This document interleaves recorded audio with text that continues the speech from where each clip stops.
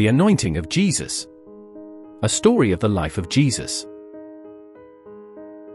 One day Jesus was invited by a well-known Jewish leader called Simon.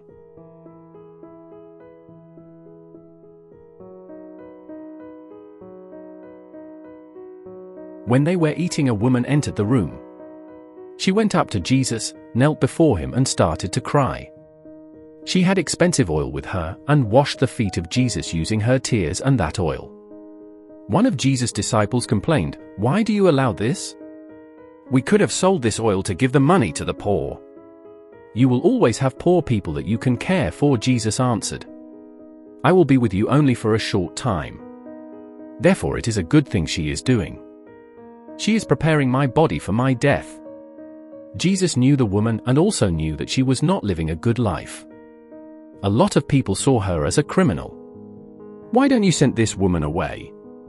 How can you allow her to even touch you? Uh, Simon mourned. Jesus replied, Look at this lady. You have not even offered me water to wash my feet myself. She instead is washing my feet with tears and oil. You did not give me a hug as I entered. She is continuously kissing my feet. One thing is sure if God forgave you a lot, you will love a lot. If you haven't been forgiven much, you will love a little.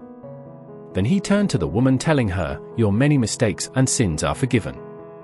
You are saved because you have trusted in me.